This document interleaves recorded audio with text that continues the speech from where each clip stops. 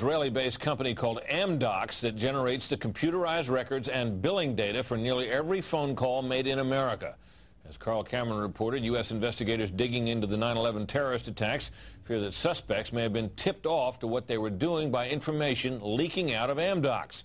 In tonight's report, we learned that the concern about phone security extends to another company founded in Israel that provides the technology that the U.S. government uses for electronic eavesdropping. Here is Carl Cameron's third report. The company is Comverse Infosys, a subsidiary of an Israeli-run private telecommunications firm with offices throughout the U.S. It provides wiretapping equipment for law enforcement. Here's how wiretapping works in the U.S. Every time you make a call, it passes through the nation's elaborate network of switchers and routers run by the phone companies. Custom computers and software made by companies like Comverse are tied into that network to intercept, record, and store the wiretapped calls and at the same time transmit them to investigators. The manufacturers have continuing access to the computers so they can service them and keep them free of glitches. This process was authorized by the 1994 Communications Assistance for Law Enforcement Act, or CALEA.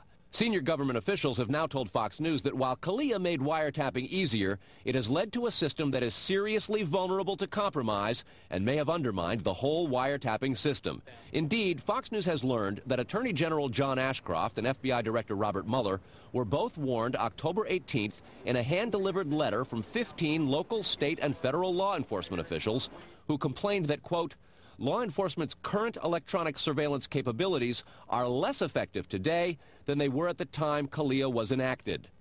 Comverse insists the equipment it installs is secure, but the complaint about this system is that the wiretap computer programs made by Comverse have in effect a back door through which wiretaps themselves can be intercepted by unauthorized parties.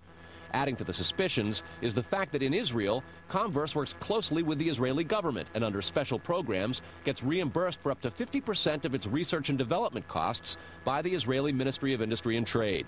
But investigators within the DEA, INS, and FBI have all told Fox News that to pursue or even suggest Israeli spying through Comverse is considered career suicide.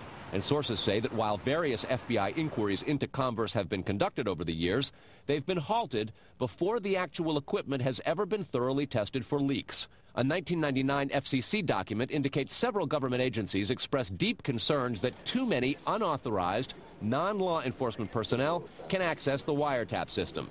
And the FBI's own nondescript office in Chantilly, Virginia, that actually oversees the CALEA wiretapping program, is among the most agitated about the threat but there is a bitter turf war internally at FBI.